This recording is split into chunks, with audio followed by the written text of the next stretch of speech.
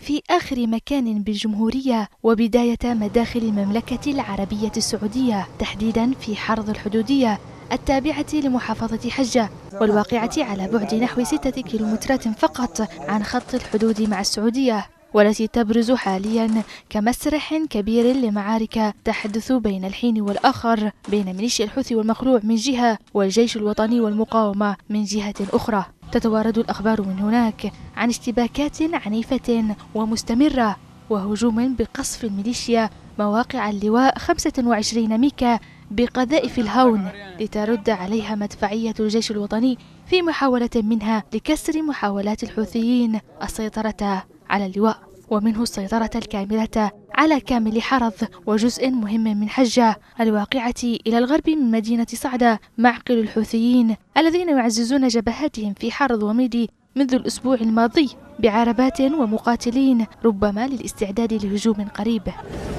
كما حلق طيران التحالف بكثافة خلال اليومين الماضيين وشن غارات متفرقة على مواقع الحوثيين وقوات المخلوع صالح لاستهداف تعزيزات ومخازن سلاح وتجمعات لهم في حرض التي يسيطرون على أجزاء كبيرة منها بينما يسيطر الجيش الوطني على أطرافها. تدور حاليا مواجهات في هذه الجبهة الهامة لترجيح الكفة كليا لواحد